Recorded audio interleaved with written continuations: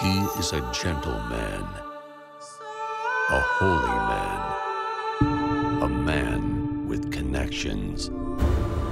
But what will he do when God's lovingly created planet comes under attack? If we destroy creation, creation will destroy us. Time to take out the trash. A pontiff fighting for God's creation. Come on, Your Holiness. Tireless, fearless, This Pope must be stopped.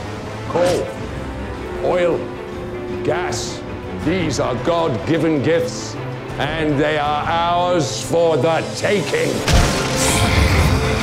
unstoppable. Forgive me, Father. Nature never forgives. If you slap it, it will always slap you back.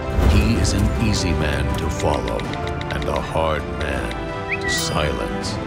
But in this epic battle against climate crisis, we can't let him fight alone. This summer, to save our world, one man Come on, Francis. will risk it all. Power of me compels you. Francis!